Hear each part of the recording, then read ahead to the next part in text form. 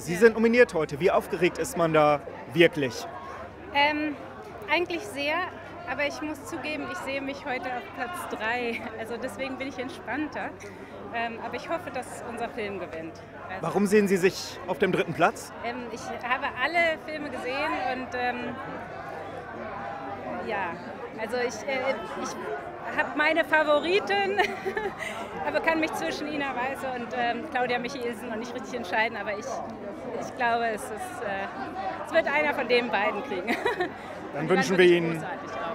Dann wünschen wir Ihnen auf jeden Fall einen gelungenen Abend. Ja, danke schön.